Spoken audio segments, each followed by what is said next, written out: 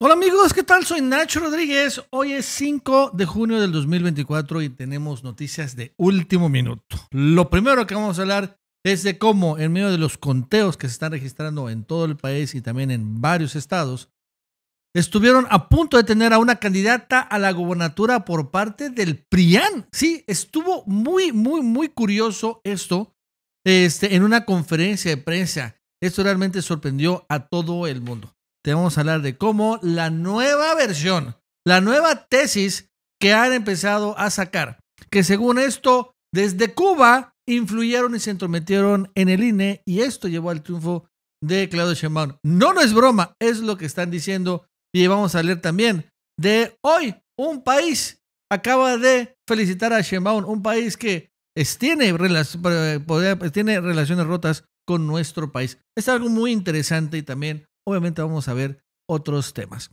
Y vamos a arrancar.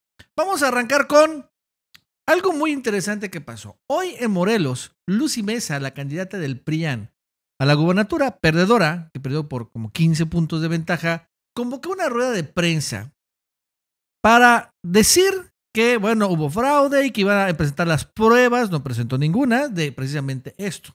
Lo curioso es que en medio de esta conferencia de prensa se aparecieron fiscales fiscales de la Fiscalía Anticorrupción de Morelos y le informaron a Lucy Mesa de una investigación penal en su contra. Incluso la retuvieron y le señalaron que está siendo investigada por ejercicio ilegal de recursos de Graco Ramírez, fíjense. O sea, es interesante. Y todo esto quedó videograbado. Finalmente era una conferencia de prensa y los medios finalmente lo comentaron. Vamos a verlo. ¿Cómo? Por eso, ¿no? Por eso, justo por eso. Por eso. Hola, maestros, ¿cómo están? ¡Bravo! A ver, a ver. Grave, eh, compañeros. A ver, medios de comunicación, por favor. Por favor. Ahora sí, dígame. Fiscalía Anticorrupción. A ver, dígame de investigación criminal, tengo una orden para una individualización. No, hombre, no. Nada más necesitamos recabarle sus datos generales, es todo lo que tenemos. No está sola. ¿Con qué motivo? ¿Con qué motivo? Tenemos una orden de investigación donde le piden individualización. ¡No está sola! ¡No está sola! ¡No está sola! ¡No está sola! ¡No está sola! ¡No está sola! A ver, déjenos escuchar cuál es el motivo, ¿por qué? Una orden de investigación. ¿Pero para qué? ¿Nada más? investigación ah, okay. para individualizar todo lo que no. Justo en, la, en, una conferencia de prensa ustedes vienen a hacer una intimidación y un acto de hostigamiento político bueno, frente de los medios de comunicación. La diligencia es con la licenciada, entonces nos dirigimos a usted. Él es su abogado. Entonces, este, usted díganos si se niega o nos proporciona. Les voy a proporcionar okay. los datos. Okay. Porque el que nada debe, nada no, Pues podemos sentar en la mesa. Por supuesto. Aquí vénganse, por favor. Vénganse aquí, por favor. De casualidad. No creen que, no creen que hay... justo denunciamos el fraude y nos cae la anticorrupción. No, bueno. Nada más le vamos a pedir que nos den... No tiene vergüenza. No tiene vergüenza esta elección de Estado. No lo sé, ahorita me van a notificar, no lo sé. Ahorita a ver, por favor. ¡Qué show! ¡Qué show! ¡Qué perversidad! La pregunta es, ¿perversidad de quién? Porque en Morelos el fiscal es Uriel Carmona. Uriel Carmona, que está muy enfrentado con la 4T. De entrada con el gobernador Morelos actual, Cuauhtémoc Blanco. De entrada. Y claro, con Claudia Sheinbaum, ni se diga la presidenta electa. Entonces, esto es interesante porque son fiscales de Uriel Carmona que llegan en contra del candidato del PRIAN. O sea, no puede decir la candidata del PRIAN, es que los mandó Morena. A ver, espérame tantito. No, nada los mandó. Porque no solo eso.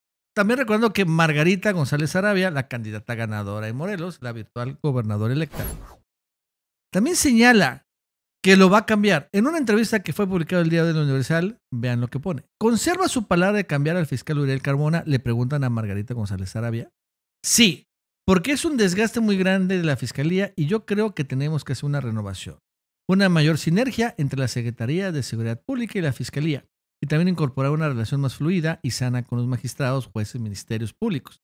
Fortalecer a los ministerios públicos para que podamos tener un sistema de justicia más adecuado.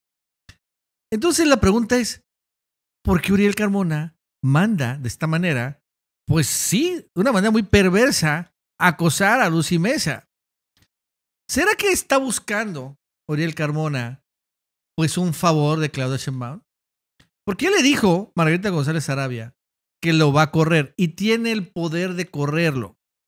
Va a tener la mayoría de entrada del Congreso de Morelos y además también va a tener el poder de cambiar la constitución en Morelos. Ella incluso señala que el nuevo fiscal debe durar solo seis años. Lo que dure el gobernador es lo que debe durar también los fiscales, lo cual se me hace espléndido. Que el nuevo gobernador pues elija a su propio fiscal, que sea autónomo, pero que nada más dure seis años, que no sean heredados. Entonces sí pasó esto de una manera súper curiosa. Bueno, en otro tema, hoy Pedro Ferris Jr., digo, Pedro Ferris de Con, el papá, saca algo nuevo. ante el hecho de que Claudia Sheinbaum está ganando ahorita más votos en el conteo, o sea, está quedando totalmente ridiculizada Xochitl Galvez. O sea, fue ridiculizada en el conteo rápido, en el PREP y ahora en el conteo distrital, porque ella sí lo dijo. Bueno, pues sucede que han sacado la nueva tesis. La nueva teoría es que hay, hubo un hackeo de parte de piratas informáticos cubanos con inteligencia artificial introducidos a la base de datos del PREP. No es broma, no es exageración, bueno, sí parece broma, pero así lo están diciendo. Vamos a escuchar a Pedro. Eh, Raidel Montesino Perurena. Él es rector de la Universidad Tecnológica de La Habana, en Cuba. Ha estado en México en reiteradas ocasiones en el país ha entrado de manera clandestina con equipos de cibernautas que le han ayudado en un proceso que, según se me informa, pudo haber aplicado un programa de inteligencia artificial que selectivamente, conforme iban llegando los votos reportados al centro de cómputo central en el Instituto Nacional Electoral, se cambiaban los votos por aquellos que resultaban convenientes para dar un eh, total holgado para Morena y sus aliados. ¿Que esto pudo haber sido? Bueno, si hubo intervención cibernética de los rusos en las elecciones en los Estados Unidos, yo no sé por qué no puede haber una intervención cubana con un señor como Raidel Montesino en las elecciones en México. Pero todos nos quedamos quietos.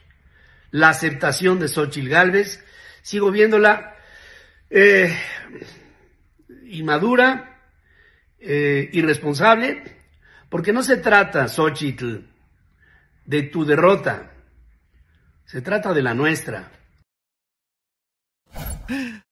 ¿Qué onda? Fíjense que esto no es solo una invención de Pedro Ferris de Con. No, no, no, no, no.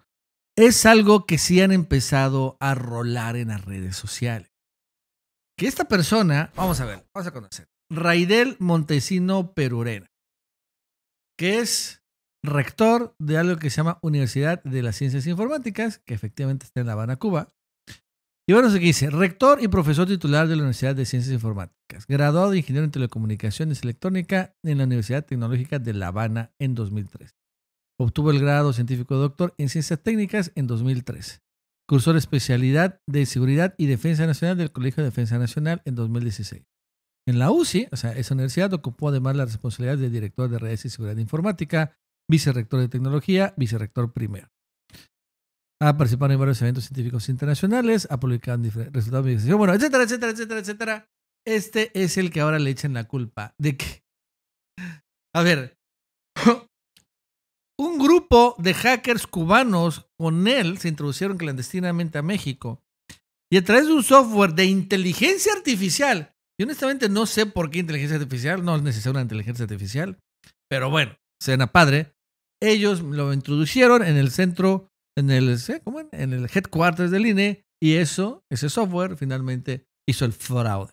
A pesar de que ahorita están contando los votos, acta por acta, voto por voto, casilla por casilla, o sea, ahorita nada tiene que ver el PREP, Ahorita se está registrando todo esto de manera física y Claudio Sheinbaum está obteniendo más votos todavía. Bueno, pues es este señor al que le echan la culpa.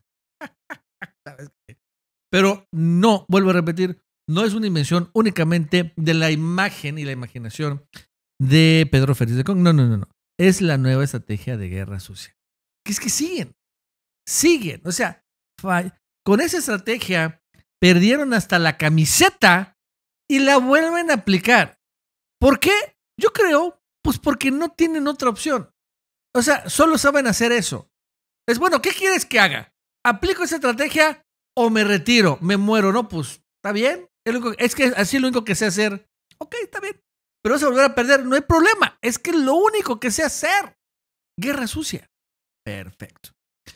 Bueno, en otros temas, hoy el expresidente priista Enrique Peña Nieto, ojo con el dato, llama y felicitó a Claudia Sheinbaum por su triunfo en las elecciones presidenciales. El expresidente priista que entregó el PRI a Morena. Esto lo informó Claudia Sheinbaum en sus redes sociales.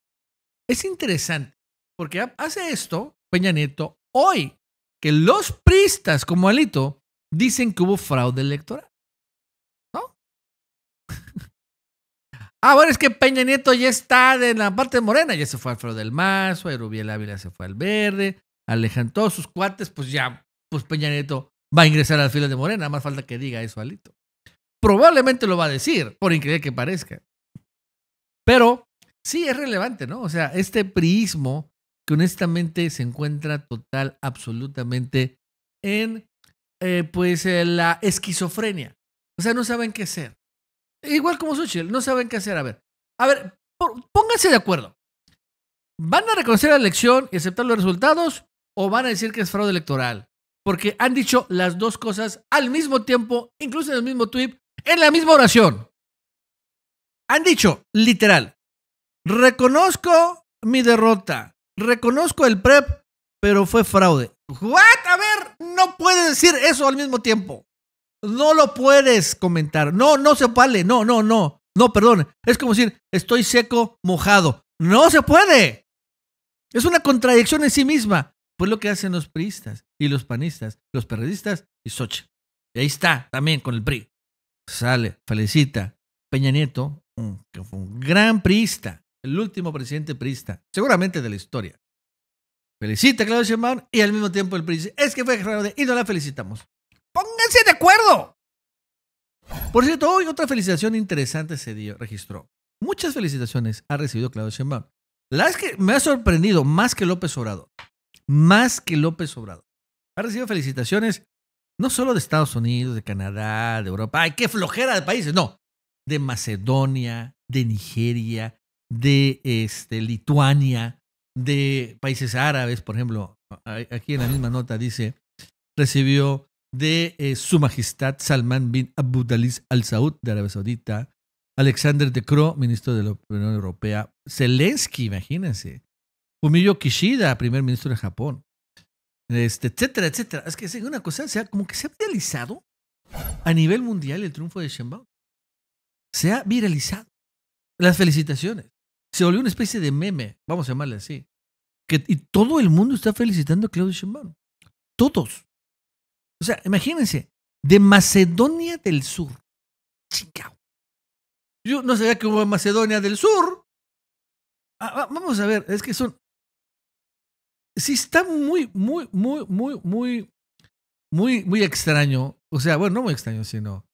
Este. Por ejemplo, vean, vamos a ver un poco el tweet de Claudio. El primer ministro de Kuwait. Bueno, pues. ¿No? A ver, ¿quién más aparece aquí? Este, del Banco de Desarrollo de América Latina y el Caribe. Bueno, aquí de el World Jewish Congress, Congreso Mundial de Judíos. Ok. La ONU, bueno, está bien. Evo, perfecto. Miren esta. ¿Este de quién es? De, de Macedonia. Aquí está, de Macedonia. Este es de Nigeria. Presidente Bola Tinubu. Este es de, ah, bueno, de Arabia Saudita, lo cual está bien. ¿no? también a el príncipe heredero, el machuchón, porque no es el papá, es el príncipe heredero el que gobierna la salida. Miren, este es de Bélgica, Alexander de Croo. Este, en fin, o sea, es que he recibido de un montón de lugares. De un montón de lugares. ¿Y qué creen? Recibió una inesperada felicitación de Ecuador. Sí, ¿cómo no? Está tan viralizado esto. Se volvió una especie de meme que tuvo que participar Novoa y manda a felicitar a Claudio Sheinbaum. El gobierno de Ecuador felicita al pueblo de México por las elecciones libres y democráticas realizadas el pasado domingo 2 de junio en las cuales resultó elegida la señora Claudia Sheinbaum como presidenta. La señora le ponen, aunque bueno, es doctora, ok, está bien. Lo cierto es que, de todos modos, ¿cómo la vi? Ecuador. Por otro lado, en temas internacionales, digo, ya esto no lo dice la prensa nacional, el superpeso ha rebotado. Se encuentra en este momento en este video en 17.46 pesos en el peor momento fue 17.82 y ya vemos que está, digo, ya va por los 16 pesos de nuevo. Se terminó la crisis, que no duró ni 48 En otros temas, por cierto, Dante Delgado saca un video y en video donde señala que Morena debe aguantarse y deben aceptar el fraude en Jalisco. No, no, dice eso, pero prácticamente lo dice. Amigas y amigos de Jalisco, el domingo pasado reafirmaron su respaldo y confianza al proyecto de Movimiento Ciudadano encabezado por Pablo Lemus. No vamos a permitir que el triunfo obtenido en las urnas se enrarezca por el miedo y la violencia que Morena Jalisco pretende difundir. Este es un llamado a la dirigencia nacional y estatal de Morena, en especial a su dirigente Mario Delgado, para que actúen con estatura y acepten el triunfo indiscutible de Pablo Lemus como gobernador de Jalisco. Basta ya de generar un clima de violencia y encono entre las personas. Permitamos que el conteo finalice en un ambiente de tranquilidad y respeto a las autoridades electorales. Jalisco y México merecen cerrar este proceso electoral con civilidad y en paz, como lo hemos hecho desde Movimiento Ciudadano en todas las elecciones federales y las diferentes elecciones estatales celebradas el 2 de junio. O sea, que acepten el fraude y ya cállense, pinches morenacos. Pero no, no va a aceptar, Mario Delgado. No lo va a aceptar. No lo va a aceptar. Está y se robaron la elección y quieren validar ese robo, no lo va a aceptar Manuel Delgado, no lo va a aceptar Claudio Delgadillo, no lo va a aceptar Claudio Sheinbaum y no va a aceptar López Obrador. No, no, no, no.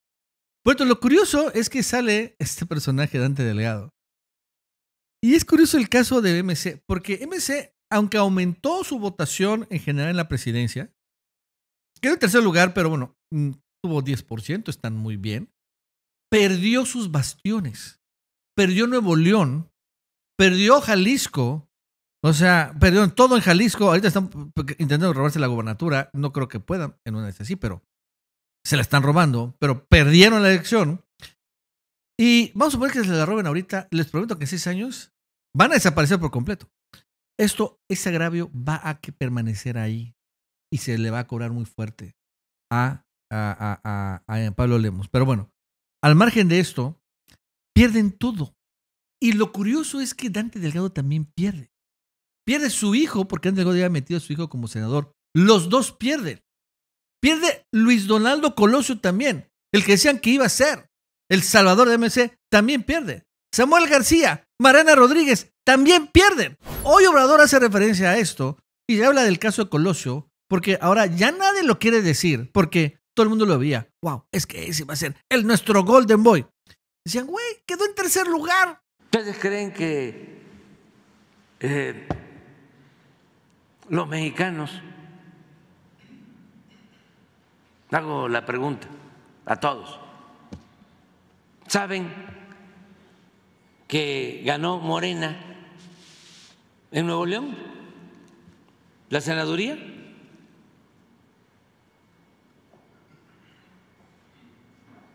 Y que,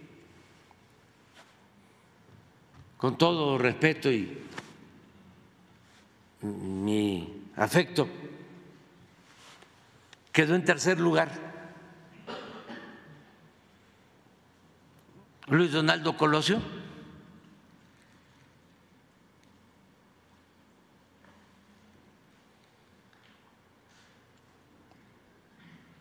En tercer lugar, de Nuevo León. ¿Cuántos lo saben?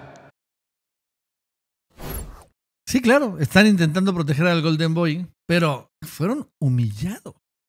Todos estos personajes totalmente humillados. Bueno, amigos, eso es todo. Hasta luego.